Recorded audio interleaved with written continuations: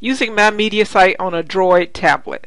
Open your web browser and go to nlcms.alamo.edu slash Mediasite slash my Mediasite.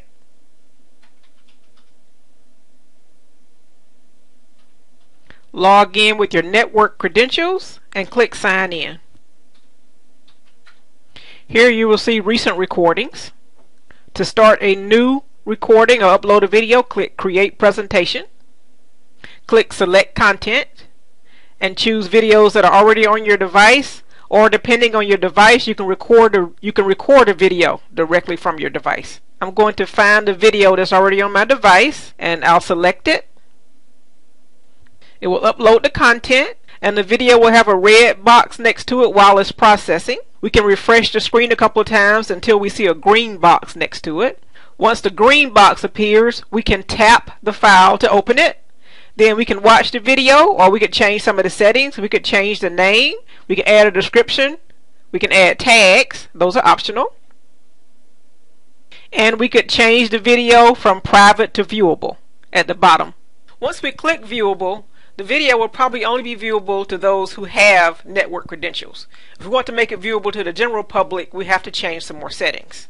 And this is a scaled down version that we're using on our Droid tablet. For more settings, we will need to log into a PC or a Mac. I'm now on a Windows PC and I'm going to log into my Mediasite once again. And here I'll find the video that I just created. Notice the title. I'll click on it and notice we have a lot more options here than we do when using the Droid tablet. I've already made it viewable. If I didn't, I could do that under Edit. I can click Viewable here. And whenever you're moving across tabs, be sure to save your information.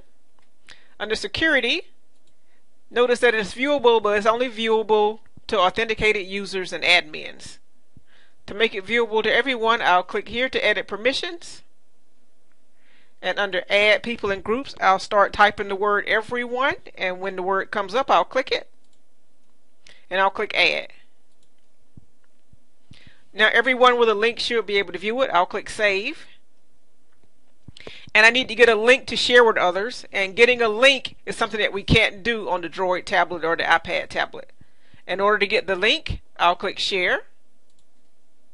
Click OK and here is a direct link that I could share with people and here is a code that I could use to put on the web page to embed the video.